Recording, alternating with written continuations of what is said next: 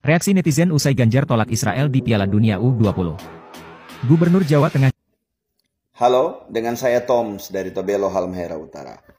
Ya, saya kritisi Ganjar lewat video kali ini dan ada empat poin yang saya ingin sampaikan. Yang pertama, Ganjar Pranowo tidak mendudukan politik dan olahraga pada proporsi yang sebenarnya. Sebagai politisi senior, sebagai orang yang digadang-gadang menjadi suksesor Joko Widodo dan the next president of Indonesia, saya kira sebuah langkah blunder yang beliau ambil dengan mengeluarkan pernyataan menolak Israel. Karena dalilnya adalah mendukung Bung Karno untuk menolak penjejahan di atas bumi.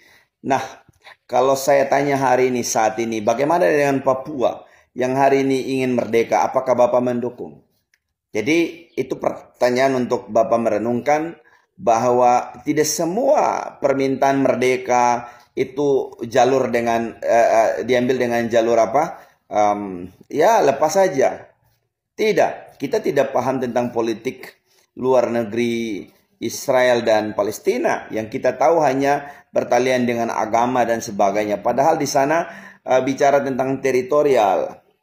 Nah, itu sudah ada fakta internasional, perjanjian internasional dan saya kira Pak Ganjar seharusnya tidak masuk ke sana. Yang kedua, mungkin karena agitasi politik Bapak, karena dorongan pembisik-pembisik Bapak sehingga Bapak harus mengeluarkan pernyataan mendukung, ibaratnya memancing di air yang keruh, ingin menarik perhatian simpatik dari uh, dari apa namanya pemilih yang mengambang atau pemilih yang kontra kepada Bapak hari ini yang belum mendukung.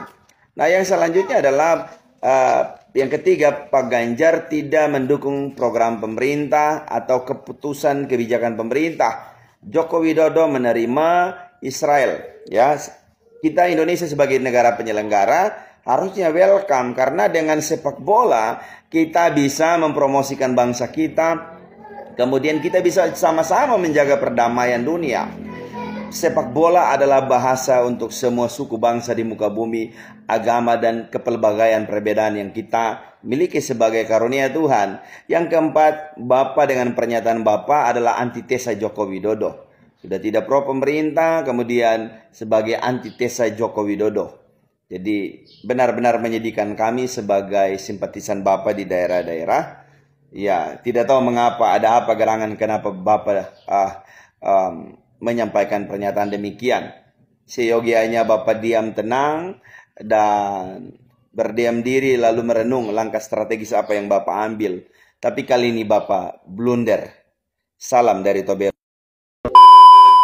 Terus bagaimana kalau Indo di ban sama FIFA? Lah ngapain takut? Biarin aja. Yang penting ideologi kita nggak diinjek-injek. Jujur gue nggak ngerti lagi, tapi nggak heran sih. Ternyata banyak orang yang setuju warga Israel ataupun timnas Israel ini untuk masuk ke Indonesia. Nih coba kita baca baik-baik. Gubernur Bali aja udah menolak Kenapa bisa ditolak? Karena nggak sesuai dengan ideologi kita. Nih aku bacain lagi ya, mana tahu orang sono yang mendukung Israel ini nggak baca undang-undang dasar waktu sekolah bahwa sesungguhnya kemerdekaan itu ialah hak segala bangsa dan oleh sebab itu maka penjajahan di atas dunia harus dihapuskan. Sampai sekarang ini Israel masih melakukan penjajahan, okupasi dan juga genosida. Itu artinya sudah bertentangan sama undang-undang dasar negara kita. Apa kita mau merusak harga diri bangsa ini hanya untuk pertandingan bola? Di video sebelumnya itu ternyata masih banyak ya bermunculan oknum-oknum separatis. Jangan campurkan olahraga sama politik lah ini. Rusia disuspend gara-gara menyerang Ukraina. Terus kita nggak bisa suspend Israel karena menyerang Palestina. Ayo gimana, blunder kan?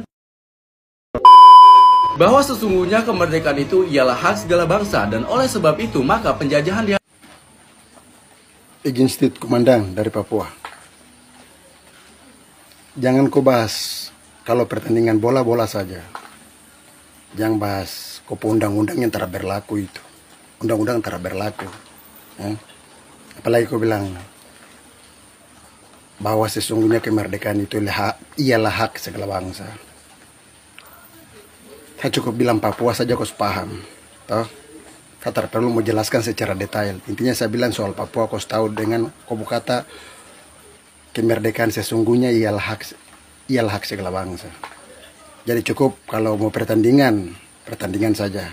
Kalau nanti ada masalah soal apa Indonesia dengan Israel yang penting rayakan Pildum selesai baru mau baku perangka nanti Israel kasih Indonesia lautan api. Kita tahu bahwa salah satu tim yang akan bertanding itu adalah Israel. Dan ini bukan soal keagamaan, ini soal penjajahan dan kemanusiaan. Shalom Baruk Haba Bishema Adonai Bismi Albi Wal Ibni Warahul Kudusi Teman-teman baru lihat apa yang disampaikan oleh anggota DPR itu. Apakah itu benar?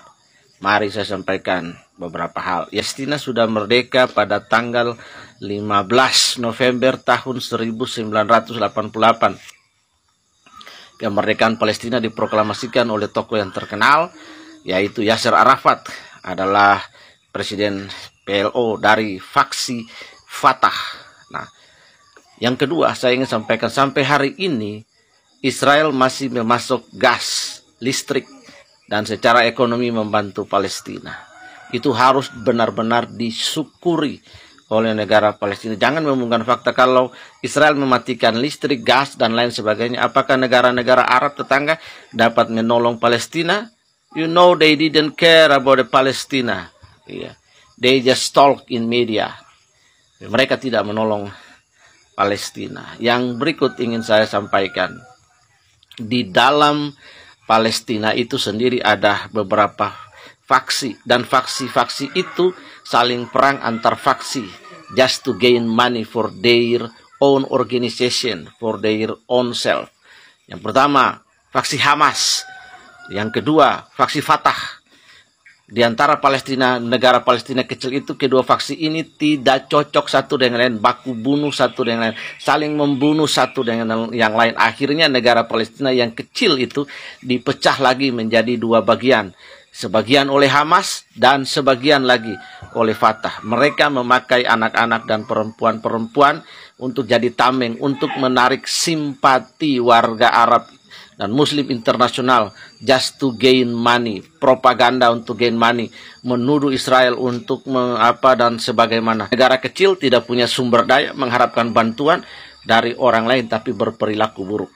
Itu fakta yang ingin saya sampaikan kepada kita supaya kita tidak gampang tertipu bahkan uh, tidak juga gampang percaya bahkan oleh anggota fraksi DPR ini sendiri. Apa yang disampaikan di awal dia berkata ini bukan agama tetapi pernyataannya itu dibungkus dengan sentimen agama.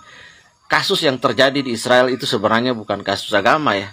Dari perspektif di lingkungan mereka sendiri. Kenapa Indonesia harus turut campur dan lain sebagainya. Ada banyak masalah yang harus diselesaikan. Yang berikut, olahraga itu tidak mengenal agama. Olahraga itu mengenal cuma satu. Bertani dengan jujur dan sportivitas. Nah, itu yang harus dimaklumi. Negara ini sudah maju, kita tidak ada urusan dengan hal-hal apa pun. Yang berikut, bayangkan jika negara ini mengadakan kerjasama dengan Israel, maka ada transfer teknologi, hal-hal untuk membangun bangsa ini dari ketertinggalan, dan kita maju. Oke, Tuhan Yesus memberkati. Berpikir cerdas, jangan berpikir yang bodoh. Tuhan memberkati. Shalom. Halo guys, jumpa kembali bersama saya Bastian Sebo. Oke, sekarang yang menjadi polemik ya, yang menjadi perbedaan pandangan di masyarakat kita ini soal kedatangan timnas U20 Israel yang akan bertanding di Indonesia. Dan sekarang mulai ada bermunculan opini-opini di masyarakat kita ada yang uh, mendukung kedatangan Israel, ada yang tidak mendukung, ada yang menolak dan sebagainya ya teman-teman. Kalau sikap saya pribadi ya teman-teman, saya ingin dunia olahraga ya mempunyai tempatnya tersendiri ya teman-teman, dipisahkan dari ranah politik. Karena kalau dari politik sudah ikut campur dalam urusan olahraga itu jadi ribet ya ribet jadinya. Lalu kembali ke reaksi video yang pertama tadi di awal tadi uh, ada pernyataan ya teman-teman dari Gubernur Jawa Tengah Pak Ganjar Pranowo yang uh, menyatakan bahwa beliau uh, mempunyai sikap menolak kedatangan uh, Israel uh, timnas Israel ya. Dan tadi sudah di stage oleh Bapak tadi beliau sebagai uh, pendukung dari Pak Ganjar di uh, salah satu daerah uh, beliau terlihat kecewa ya dan mengatakan Pak Ganjar melakukan blunder. Kalau saya pribadi uh, kemungkinan jawaban dari Pak Ganjar itu sesuai dengan sikap dari uh, partainya ya. Saat ini partai PDIP juga menyatakan sikap menolak kedatangan atau kehadiran timnas Israel. Akan tetapi saya tidak ingin seperti pepatah yang mengatakan nila setitik rusak susu sebelanga ya. Artinya hanya satu uh, hal yang mungkin kita anggap itu tidak sesuai dengan pandangan kita, lalu kita tidak melihat semua kebaikan hal-hal yang positif yang ada di dalam dirinya, kita hanya uh, memegang satu uh, hal yang kita anggap mungkin uh, tidak sesuai dengan pandangan kita atau jelek atau buruk menurut kita ya. Saya tidak ingin seperti itu. Artinya saya masih mau melihat hal-hal yang baik, yang positif dari Pak Ganjar, hal-hal prestasi yang sudah beliau lakukan. Kita tentu mengharapkan sosok-sosok seperti Pak Ganjar dan sebagainya yang mau melanjutkan program-program yang saat ini sudah dipondasikan, sudah ditanamkan oleh Presiden Jokowi.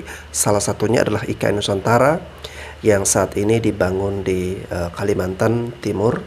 Dan itu programnya sampai tahun 2045 ya teman-teman. Dan ini penting untuk kita jaga dan kita pilih pemimpin yang bisa terus melanjutkan program-program itu. Jangan sampai nanti karena kita salah memilih pemimpin programnya Pak Jokowi yang saat ini sudah keren dibangun malah mangkrak.